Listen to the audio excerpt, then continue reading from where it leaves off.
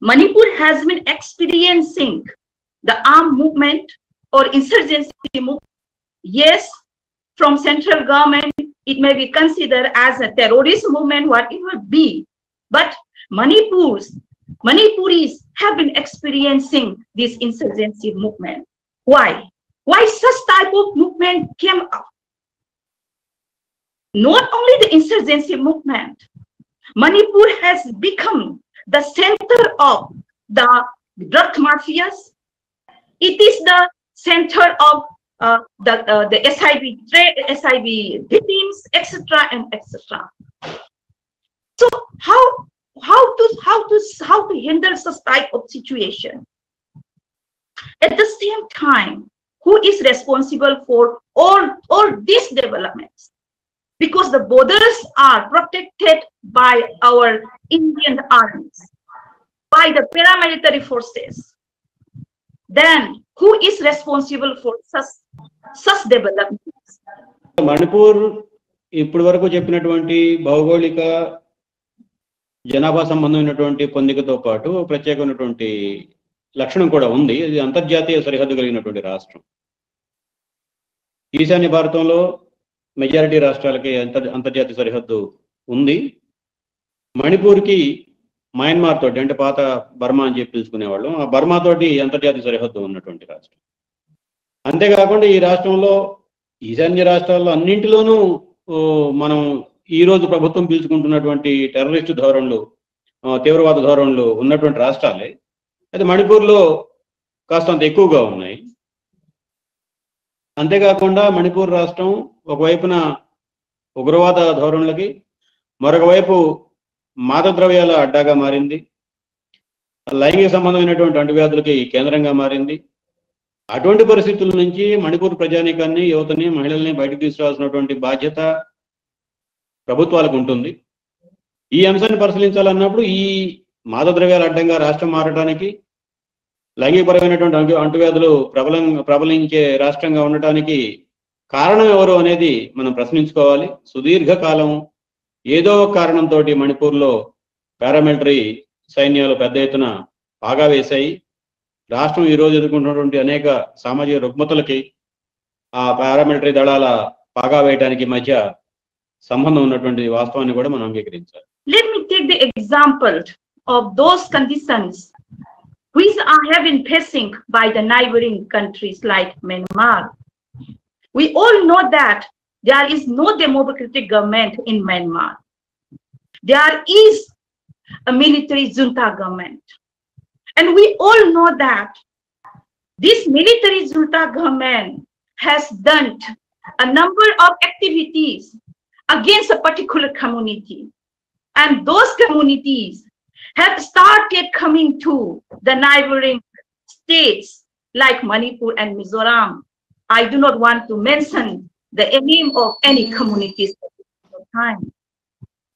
Automatically, this is a threat to our national security. I would also like to cite the example of the drug mafias. Uh, you see, if you opened the news, if you if you read the news for the last two months only, how many columns of drugs were transported to India, to, to Mizoram. Earlier, it was transported through Manipur. Then what is going on? Another very important issue is that the volume of arms and the ammunitions which were which were named by the Indian Army last year. Why, what I am trying to say is that there is an external force to destroy Manipur.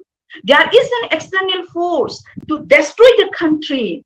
And there is an external force who, who which is trying to kill each other, which is trying to, uh, what to say, uh, create a situation that all the communities of Manipur fight each other, all the communities of Manipur kill each other. We have to find out this situation. Yes, please. మిత్రులారా ఇందాక చెప్పినటువంటి వ్యూహాత్మక సరిహద్దు ప్రాంతం అనేది చాలా కీలకమైనటువంటి సమస్య రాష్ట్రానికి అట్లాగే ఈశాన్య భారతానికి ఇరుగు పొరుగు ఉన్నటువంటి రాష్ట్ర దేశాలు ఏమి పెద్ద ప్రజాతంత్రమైనటువంటి దేశాలు కాదు ఏదో పార్లమెంటరీ పద్ధతుల్లో ఎన్నికలు ప్రజాస్వామ్యం శాంతియుతంగా పరిపాలన సాగించే దేశాలు కావు అక్కడ ఉన్నటువంటిది సైనిక నియంతృత్వ ప్రభుత్వం ఆ సైనిక నియంతృత్వ ప్రభుత్వం మయన్మార్లో ఉన్నటువంటి ఒక తెగకు సామాజిక తెగకు వ్యతిరేకంగా పెద్ద ఎత్తున అనేక రకాలైనటువంటి ఆ వేధింపులకి తెరదీసింది ఆ వేధింపులు తట్టుకోలేక వివక్షను తట్టుకోలేక అణచివేత పీడనని తట్టుకోలేక ఆ మైనారిటీ తెగ సరిహద్దు రాష్ట్రాలుగా ఉన్నటువంటి ఈశాన్య భారత రాష్ట్రాలకి వలసలు వచ్చారు. ఇది వలసలు రావడం అనేది ఒక ప్రేరేపిత చర్య. సహజంగా జరిగినటువంటి చర్య కూడా కాదనుకుంటున్నాను. ఎందుకంటే అనేక ఇరుగు పొరుగు ఉన్నటువంటి శత్రు దేశాలు మణిపూర్ని విచ్ఛిన్నం చేయాలని చెప్పి ప్రయత్నం చేస్తున్నాయి. అట్లాగే భారతదేశం యొక్క సమైక్యత సమగ్రతని పణంగా పెట్టాలని చెప్పి ప్రయత్నం చేస్తున్నాయి. దాన్ని సమైక్య సమైక్యత సమగ్రతలకి సవాలు విసరాలని ప్రయత్నం చేస్తుంది ఏ విధంగా సవాలు విసరాలని ప్రయత్నం చేస్తున్నారు? ఈశాన్య భారతంలో ప్రతి రాష్ట్రంలోనూ చిన్న పెద్ద తెగలు సమ జనాభా పరంగా చిన్న పెద్ద తెగలు ఉన్నాయి. వీళ్ళిద్దరి మధ్య కలహాలు సృష్టించి వీళ్ళిద్దరి మధ్య అంతర్గత ఘర్షణలు సృష్టించి ఓ సాయుధ పరమైనటువంటి ఘర్షణకి దారి తీసే పరిస్థితిని సృష్టించి వీళ్ళు వీళ్ళు కొట్టుకు చావాలి అన్నటువంటి వాతావరణాన్ని ప్రేరేపించడం కోసం అనేక శక్తులు ప్రయత్నం చేస్తూ ఉన్నాయి. తెలుసో తెలియకో దేశంలో ఉన్నటువంటి కొన్ని శక్తులు కూడా దానికి ఆ ప్రభావాలకు లోనవుతాయి. ఈ మధ్యకాలంలోనే మనం గమనించండి దాదాపు కొన్ని వందల ట్రక్కుల్లో మారణాయుధాలు మాదద్రవ్యాలు రాష్ట్రానికి వచ్చిపోతూ ఉన్నాయి. వీటన్నిటిని నిఘా వేసి కాపలా కాసి అడ్డగించాల్సినటువంటి పారామిలిటరీ సైన్యం అంతా క్రియాశీలకంగా అక్కడ పనిచేస్తున్నట్టుగా మనకేం రిపోర్ట్లు కనిపించట్లేదు వార్తల్లో చూస్తే.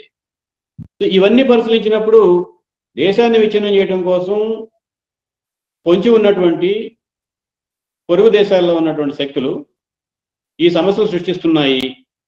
ఈ విషయాన్ని మనం సరిగ్గా అవగాహన చేసుకోలేకపోతే మణిపూర్ మనకు మనగడికే కాదు ఈశాన్య భారతం మనగడికి తద్వారా భారతదేశం భౌగోళిక సమగ్రతకు కూడా సవాళ్ళు ఎదురయ్యే పరిస్థితులు ముందు ముందు తలెత్తే ప్రమాదం ఉంది అన్న విషయాన్ని మనం అర్థం చేసుకోవాలి.